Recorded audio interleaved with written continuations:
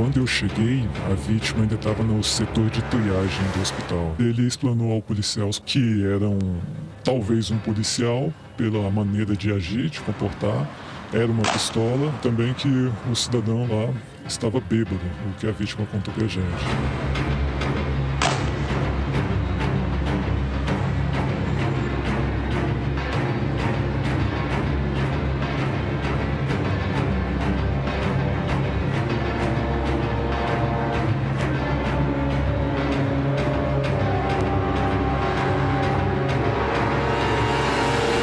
Policial que aparece no vídeo atirando no taxista Wilson Passatuto está preso no Departamento de Polícia Especializado. Davi Rurik Perequito Sade se entregou nesta segunda-feira.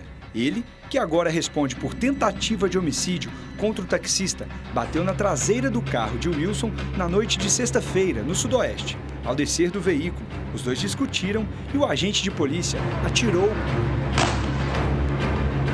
a vítima foi atingida no sudoeste e, mesmo baleado, dirigiu até a porta desse hospital que fica na Asa Sul, dá cerca de 7 quilômetros. Ele estacionou o carro bem aqui e, ainda todo ensanguentado, ele percorreu esse caminho e foi até a porta de vidro do hospital. Foi quando ele foi socorrido pelos seguranças. Ele evoluiu de gravíssimo para grave, mas ainda continuou ruim. O tiro foi no abdômen e transfixou o corpo inteiro, foi a queima-roupa. A arma usada no crime não era da Polícia Civil e foi apreendida. Davi vai ficar preso temporariamente por 30 dias e ele já tem nove passagens. Entre os crimes estão injúria racial, ameaça, apreensão de bens de forma irregular, lesão corporal, difamação e vias de fato. O agente de polícia está na instituição desde fevereiro de 1999. Além do processo criminal, Davi vai responder também processo administrativo disciplinar.